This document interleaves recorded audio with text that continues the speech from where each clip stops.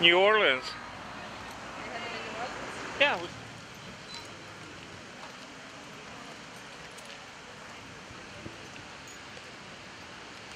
How embarrassing having a diaper on a horse.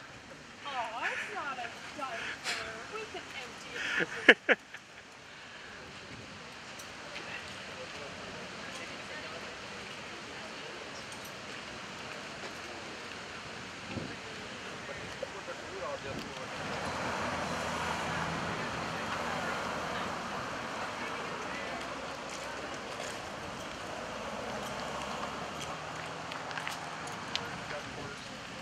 No, if we're sitting here, we are ready to be hired.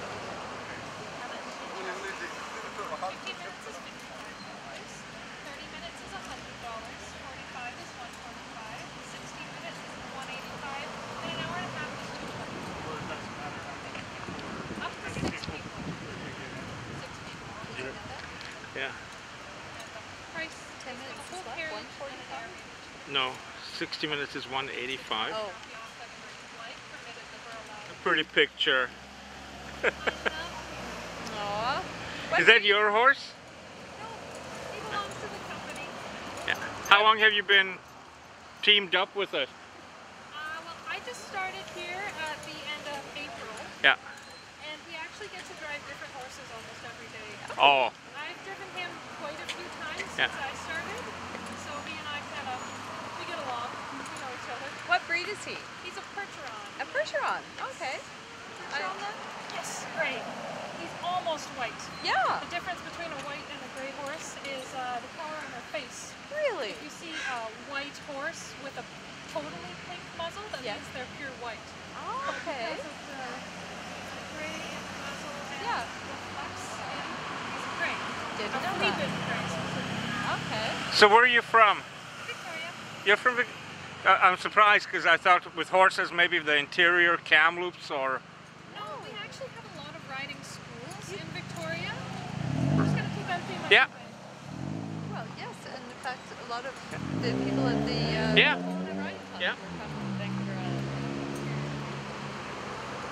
There are a lot of barns farther away from Yeah. downtown, like in Saanich and the Highlands. I actually learned to ride um, by Prospect Lake. Okay. Healy? Yeah. Maybe forgot we were there. Yeah.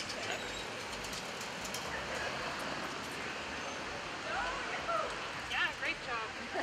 it's perfect for me specifically because like it combines my love of horses with um, my degree in performing arts because we have to learn everything about the city and present it in a way that is enjoyable for tourists.